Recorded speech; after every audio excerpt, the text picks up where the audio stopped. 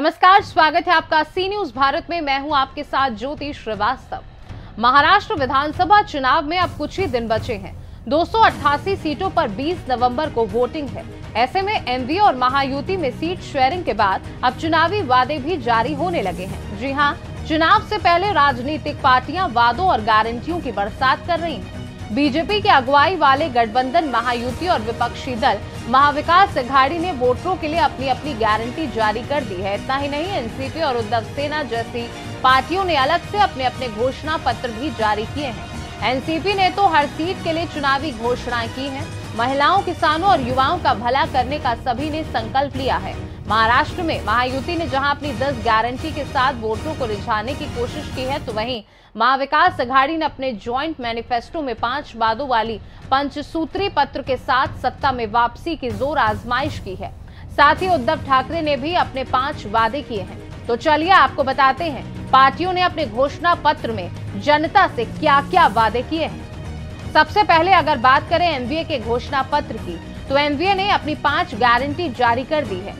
इनमें महिलाओं को प्रति माह वित्तीय सहायता, किसानों का लोन माफ़, बेरोजगारों को आर्थिक सहायता, परिवारों के लिए स्वास्थ्य बीमा आदि शामिल है।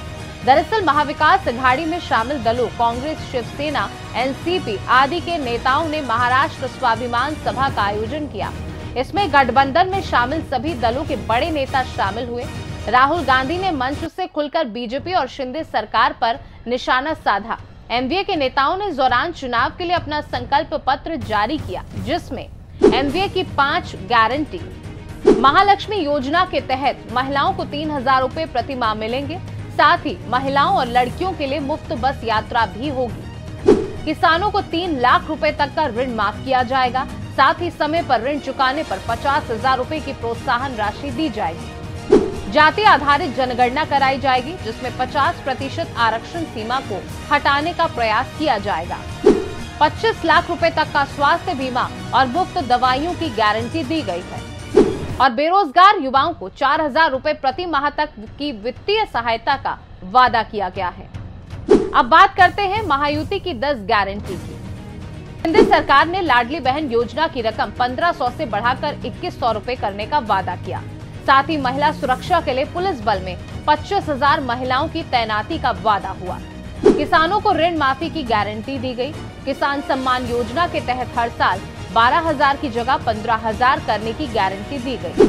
एमएसपी पर 20 प्रतिशत सब्सिडी का वादा किया है। वृद्धावस्था पेंशन धारियों को हर महीने 1500 से बढ़ाकर इक्कीस सौ रूपए करने का वादा किया है। आवश्यक वस्तुओं की कीमतों को स्थिर रखने का वादा किया गया है। 25 लाख रोज़गार और 10 लाख छात्रों को प्रशिक्षण 10,000 हर महीने शिक्षा भत्ता देने का वादा किया गया है। आंगनबाड़ी और आशा वर्कर को पंद्रह हज़ार रूपए वेतन और बीमा सुरक्षा का वादा किया गया है। ग्रामीण भागों में पैतालीस हज़ार कनेक्टिंग सड़कों को जोड़ने का वादा किया है। बिजली बिल में 30 प्रतिशत कटौती का वादा है। सरकार बनने के बाद इस विजन महाराष्ट्र दो को 100 दिन के भीतर पूरा करने का वादा किया गया। इस बीच उद्धव ठाकरे भी अपने पाँच मुख्य चुनावी वादे लेकर चुनावी दंगल में कूद पड़े। दूसरे घोषणा पत्रों से इनकी घोषणाएँ बहुत ज़्यादा अलग नहीं है। इन्होंने अपनी गारंटी में धारावी मुद्दा भी जोड़ा। सभी बच्चों के लिए मुफ़्त शिक्षा बेटा बेटी सभी को समान रूप से शिक्षा का अधिकार। महिला पुलिस भर्ती बढ़ाने का वादा वरिष्ठ पदों पर महिला अधिकारियों की भर्ती का वादा। किसानों को मूल्य गारंटी, आवश्यक वस्तुओं की कीमत स्थिर रखने का संकल्प, मुंबई में उद्योग के साथ धारावी निवासियों को घर देने का वादा किया।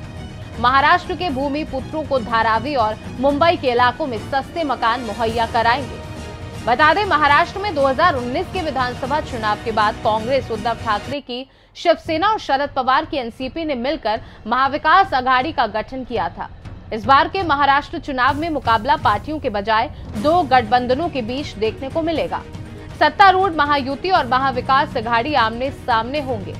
इस बार के विधानसभा चुनाव में विपक्षी गठबंधन एमवीए महाराष्ट्र में लोकसभा चुनाव के अपने प्रदर्शन को दोहराना चाहिए हालाँकि चुनाव में मतदाताओं को लुभाने के लिए वादे तो पहले से किए जाते हैं, लेकिन अब तो सरकारी खजाना लुटाने का चलन चल पड़ा है। लेकिन सवाल है, पैसे कहाँ से आएँगे? रेवड़ी बांटने की राजनीति देश को कहा ले जाएगी? और क्या वाकई जीतने के बाद पार्टियाँ अपना वादा पूरा करेंगी?